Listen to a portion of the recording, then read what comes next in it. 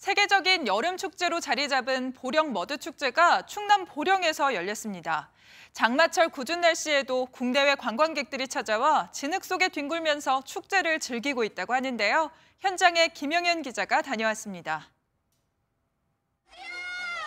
젊은 남녀들이 신나는 음악에 맞춰 춤을 추고 물줄기를 맞으며 더위를 날려버립니다. 몸싸움에 밀려 머드탕에 빠지기 일수. 머드 바닥에 넘어지거나 진흙 세례를 받아도 웃음이 터져나옵니다. 서로 처음 보는 사이지만 축제장에서는 남녀노소 국적 상관없이 하나가 됩니다.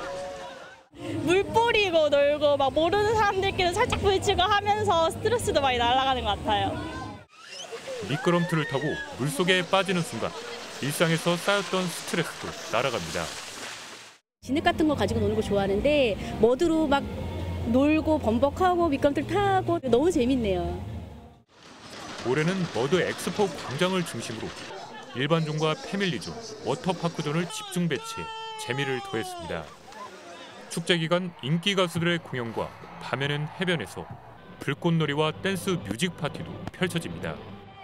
머드 축제 기간에는 해양 스포츠 제전이 다음 달 8일에는 섬의 날 행사에 이어 15일 보령컵 국제 요트 대회도 보령에서 열립니다.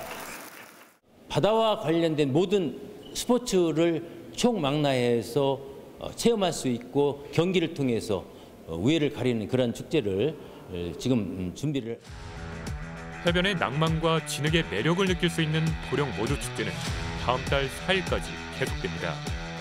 MBN 뉴스 김영현입니다.